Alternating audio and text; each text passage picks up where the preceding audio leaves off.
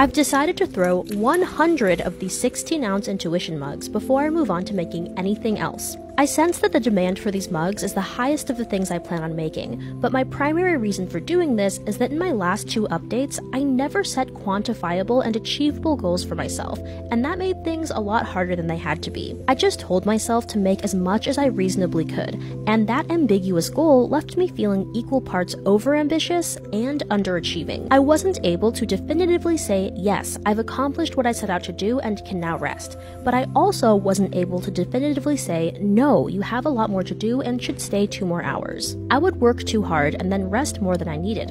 A quantifiable goal will hopefully be more regulating. Another reason I'm only throwing mugs until I hit 100 is for efficiency.